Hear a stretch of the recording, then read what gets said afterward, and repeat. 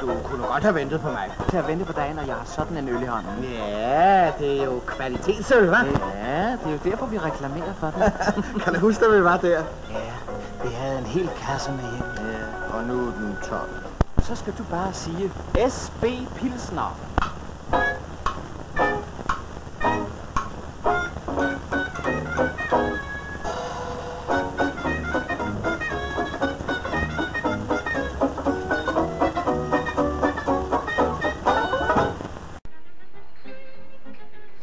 Vi starter i bryghuset, hvor brygger Jens Iversen tidligt om morgenen gør klar til dagens bryg. Hver bryg har sin egen rapport, hvor alle oplysninger om processens forløb bliver noteret undervejs. Det tager 8,5 timer at lave en bryg. Det første, der skal bruges, er malt, som knuses her i maskinen. Så tilsættes råfrugt, det vil sige majs. Majsen er med til at gøre øllet lettere i smagen. Sammen med vand kommer det hele i store kar, som så varmes op. Det kaldes amiske. miske.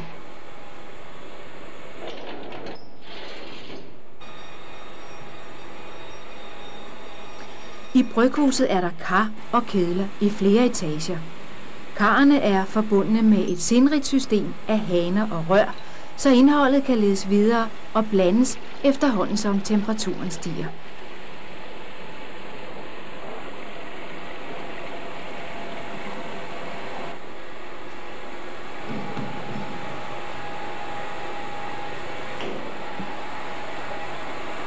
Så er mæskningen sat i gang.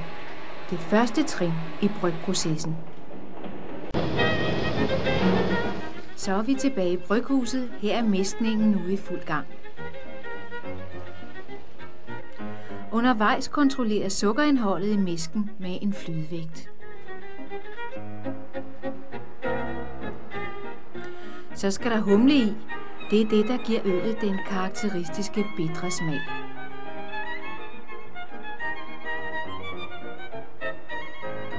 Når masken er sidet fra, er mesken blevet til en såkaldt urt, som ved hjælp af gæren kan blive til øl.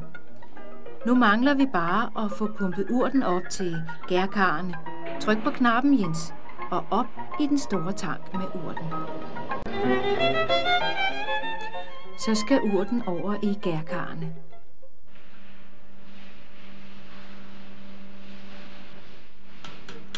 Der tilsættes lidt ilt, for at gascellerne nemmere kan formere sig.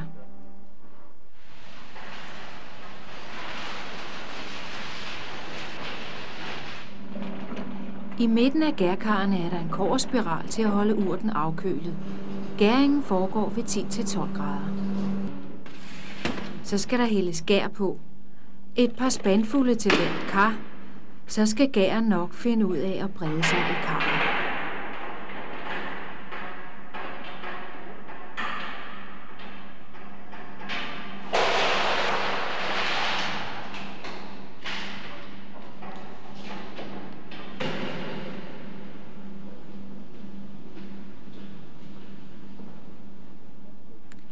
Hvert af disse gærkar indeholder næsten 5.000 liter øl.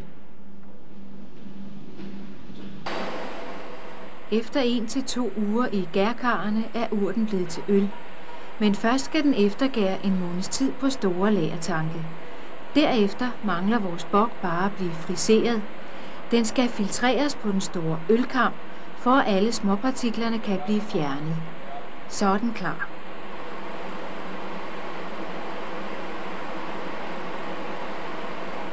Herefter ledes den over i tryktanke, parat til aftakning.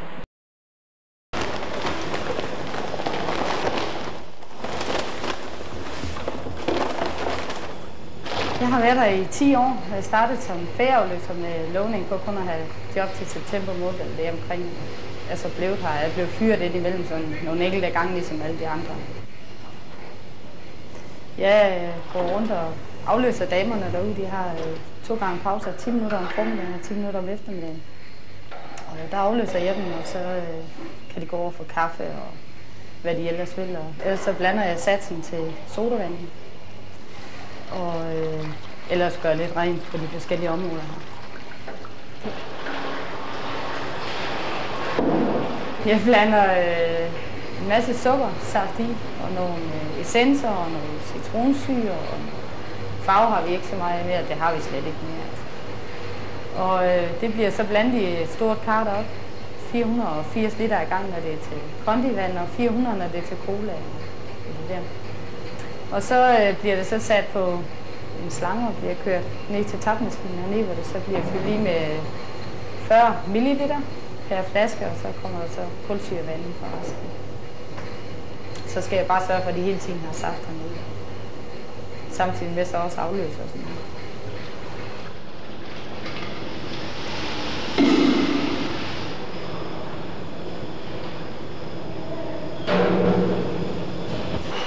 Vi har et rigtig godt kammeratskab og virkelig godt forhold til vores forvalter, og det kører bare derude. Og vi slapper af ind imellem, og hvis der så skal laves noget, så arbejder vi også fuldt ud alle sammen. Vi arbejder godt sammen alle sammen ser du her, Marianne, og, og øh, vi tænker tilbage på Svendborg Bryghus. Hvad var det for en arbejdsplads? Det var en rigtig dejlig arbejdsplads. Vi arbejdede med fri under ansvar. Vi havde, øh, vi passede, hvad vi skulle, og så var der aldrig nogen, der sagde noget. Det, var, det gik rigtig fint. Hvordan var det organiseret? Sådan, øh, hvem, hvem, der må have været en arbejdsleder. Det var der, der var en direktør jo, og der var også en forvalter, og smeden, de tre, de kørte egentlig øh, sammen om at få tingene til at køre. Men, øh, men selvfølgelig var der jo de der, det var dem, der sørgede for, hvad vi skulle køre og sådan noget, men ellers så passede vi det egentlig selv. Det, det, det gik fint, synes jeg. Ja. Og så rykkede I noget rundt øh, i løbet af arbejdsdagen? Ja, vi skulle skifte hver halv time, fordi det var hårdt at sidde ved klarkassen øh, og sidde og, og kigge efter flasker, om der var skidt i, eller de var dårlige, eller de lyse flasker blev også sorteret fra, fordi der blev øl dårligt i, når det stod i, hvis det ja. blev for meget sollys. Ja. Og det var vi nødt til, så der skiftede vi hver halv time. Hvad var du mest eftertragtet at lave på bryggeriet? Det ved jeg simpelthen ikke. Og for os unge var det bedst at stå nede bagved, hvor chaufførerne kom ind, og vi havde... Øh, man kunne bedre snakke dernede, løbe lidt sammen og snakke, fordi oppe i produktionshallen, der skulle de jo holde øje med, der var, at det var i orden, det der kom i flaskerne og sådan noget, så... Og det var bedst at være nede bagved, hvor, hvor etiketterne var, skulle sættes på og sådan noget. Ja. Og nu er du stadigvæk på bryghusområdet, ja. men laver noget helt andet. Ja. Hvad laver du i dag? Jeg øh, sidder en del på kontoret, og ellers så er jeg nede på afdelingerne ved de demente borgere. Så det er altså det, demensbyen, som du... Demensbyen, ja. ja.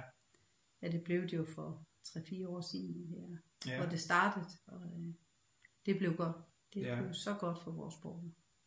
Det er jo nu et skifte fra at være øh, bryggeriarbejder så til at komme op til at arbejde med demente borgere, og du bliver nødt til at fortælle lidt, hvad der er sket derinde imellem.